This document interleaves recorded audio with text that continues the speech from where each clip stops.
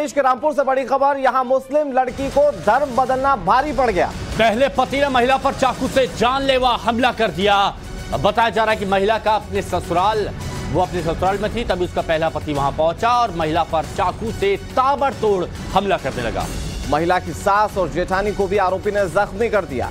महिला का पहले पति से तलाक हो चुका था जिसके बाद वो किशनपाल से शादी कर हिंदू बन गई थी। जो उसके पहले पति को नागवार गुजरा और इस घटना के बाद इलाके में तनाव का माहौल है बड़ी संख्या में पुलिस बल की तैनाती की गई है। तस्वीरें आपके सामने देखिए क्या हालात यहाँ पर हो गए हैं। अफरा तफरी का माहौल है और लठ यहाँ पर चलाए जा रहे हैं।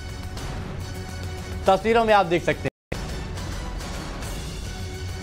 अभी कुछ दिन पहले ये गाँव में आए थे तो इसके घर वाले नेहा के शादी करने से दूसरे धर्म के लड़के से शादी करने से नाराज़ थे।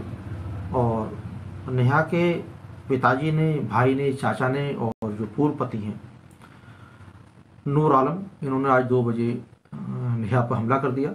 नेहा की तहरीर पर मुकदमा लिख लिया गया है और जो चार आरोपी हैं, उनमें से एक आरोपी नासिर को गिरफ़्तार कर लिया गया है मैं चाकू के।